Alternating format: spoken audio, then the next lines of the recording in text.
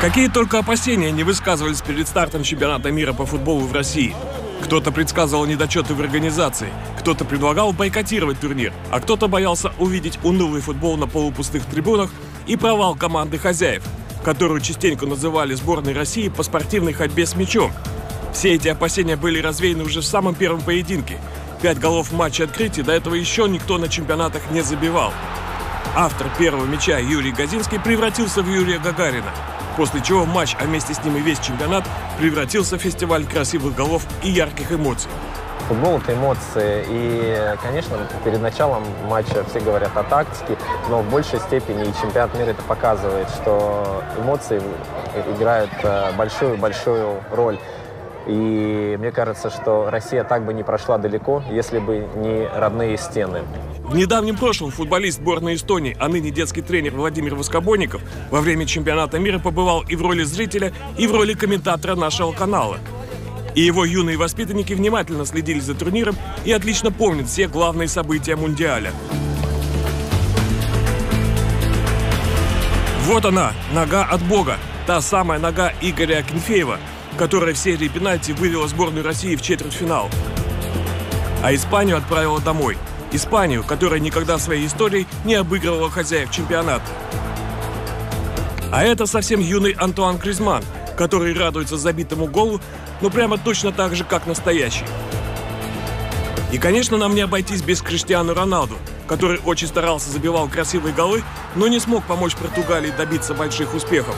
Тем не менее, легендарные футболисты, такие как Роналду и Лионель Месси, оставили свой след и на этом чемпионате мира. Оставил свой след и бразилец Неймар.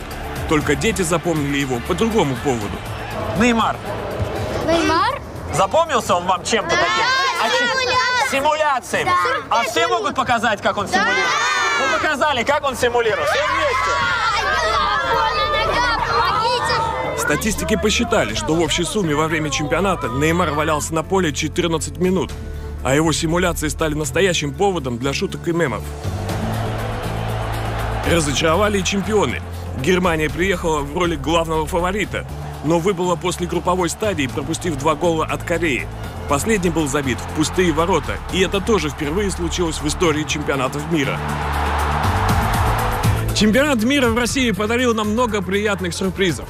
Были открыты новые команды, новые звезды, новые имена – и кто бы мог подумать, что в финале сыграют две команды – Франция и Хорватия. И если участие французов можно было предположить, то Хорватия стала настоящим открытием.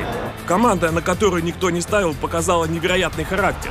Сначала хорваты высадили Аргентину, а затем выиграли три матча плей-офф с дополнительным временем и сериями пенальти.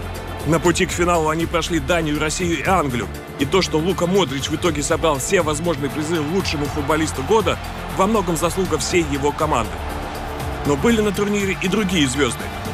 Безусловно, меня порадовал э, Дзюба, который начинал матч, начинал чемпионат э, в запасе и потом вот сумел пробиться. Вот эта воля его, которой он известен этой своей силой воли, меня это очень порадовало. И, безусловно, э, то, что он забил голы, то, что как мотивировал ребят, это, наверное, самый большой плюс.